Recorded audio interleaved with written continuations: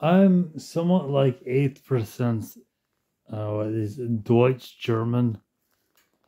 If a Deutsch soldier, SSA, that's the highest rank, would rape a like rape, like forcible, like whatever gross stuff with a what they were known as vermin. And that is the uh, Jewish people. And they knew them as Jewish people, like yeah, the Torah. And you see the starvation camps, uh, manna from the heavens, and that sort.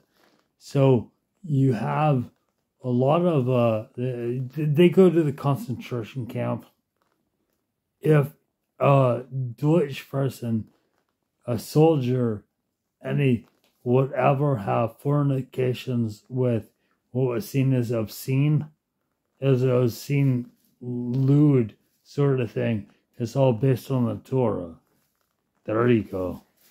And then the propaganda, and everybody loves, oh my God, yeah, uh, the, the, the propaganda, like suck baby blood dick out of a fucking infant or you could, a boy even.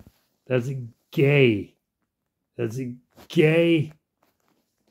fucking weird cannibalism. Really? That's uh that uh, as a cult.